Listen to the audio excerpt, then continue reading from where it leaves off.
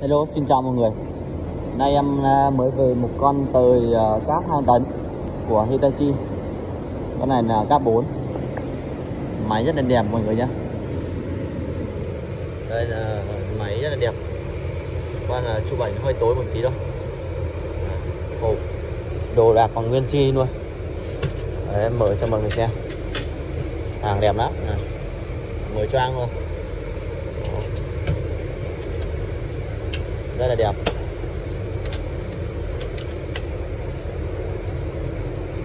Sau em sẽ test video vận hành máy cho mọi người xem. Bên đây người ta đang làm việc nó hơi ồn một chút rồi em sẽ test cho mọi người xem. Đây, để sát motor đây. Đó. chạy rất là êm mọi người nhé. Gần như không nghe được gì đâu để sát nó cầm một găng tay này. Đó. Kêu ro ro một tí đâu đó. nên kịch đá đây đấy, ngắt rồi nhá. Đó. còn đây là chân chạy. Chân chạy.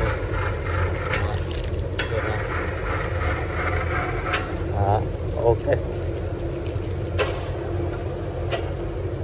Ok đã xong. Ba nào cần thì cứ liên em nhé xin chào mọi người.